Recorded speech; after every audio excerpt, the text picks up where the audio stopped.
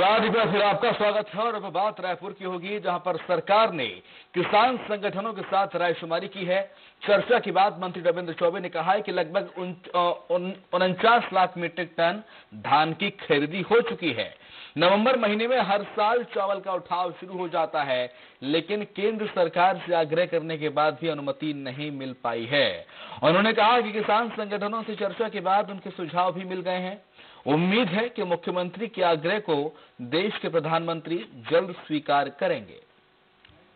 अड़तालीस lakh metric ton धान की खरीदी हो चुकी है। आज अगर देखेंगे तो अड़तालीस उनचास लाख मीट्रिक टन धान की खरीदी लगभग हो चुकी है।